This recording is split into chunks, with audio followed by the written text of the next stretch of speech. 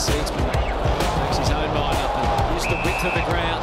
I don't think either of us worry about the numbers as such, but you know, we, have sort of got a penetrating kick, so so Nicksy likes us to to hit the back line and also break the lines you know, with run and carry. So at the end of the day, it's no good if, you, if you're just kicking it and, you know, bombing it to the opposition. Made mention to it to him last week that it'd come up that we were one and two and we had a bit of a laugh about it because he had me by about 30 metres. Yeah, it's definitely not a competition or something, but it's good to have, I guess, guys like us in the team that are breaking the lines and um, getting those metres gained.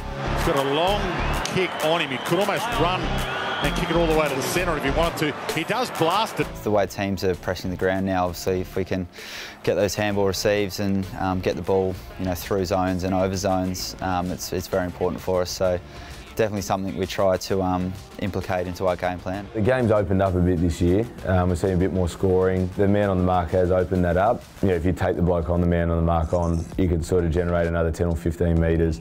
Um, and whether that means you then bailing out to kick long or you know another option in a 45 or another lane has opened up for you to hit. So that definitely has helped and, and it's a lot more difficult to defend um, the kicker. Off to Seedsman.